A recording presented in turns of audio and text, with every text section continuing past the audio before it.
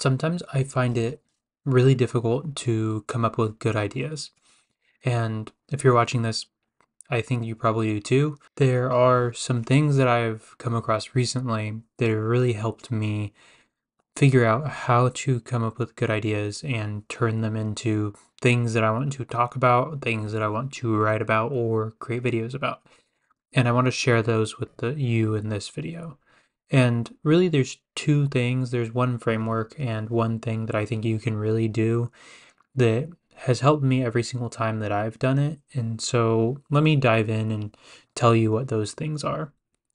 Number one, if you're really struggling to come up with something, try getting on a call with some friends and talking about the things that you know and the things that they may not know. Try teaching them about it.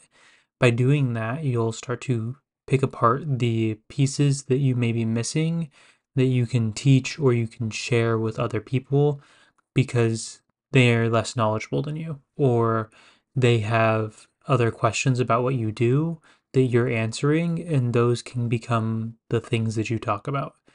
I've been doing that a lot more recently and that's how I'm starting to come up with some good ideas, some good concepts for pieces that I want to talk about, things that I want to share about because doing those things allows you to see the gaps in what you're already sharing about and the combat the expertise gap where you know so much that you forget what a beginner doesn't know.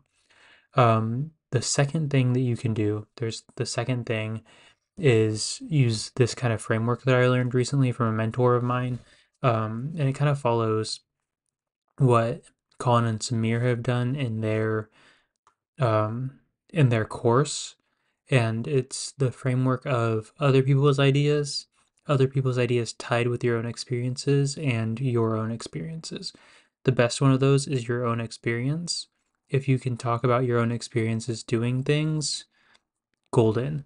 But if you're struggling with things, struggling to come up with ideas, things to talk about, try taking other people's ideas, to have experience with them, and then turn them into ideas that your learnings that you have. And by doing that, you'll have new ideas, things that you can resonate on, things that you can talk about, things that you can share about what you've learned by using those ideas, those concepts. The last thing that you can do if you're really struggling is just take other people's ideas, share where you got them. I do not condone stealing, but share where you've learned this idea and talk about it, share it with others. By doing that and sharing where you got it, you're sharing the idea with the more people and you're expanding the reach of that person's knowledge and that person's ideas.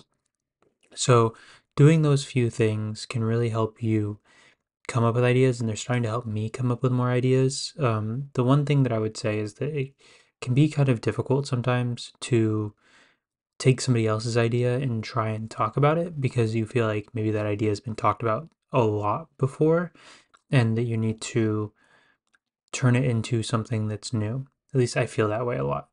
Um, I would say you can still talk about it, share where you got it from, share where you learned it from, and just share it with your community because maybe somebody else hasn't heard it before and it's still good for them to learn it.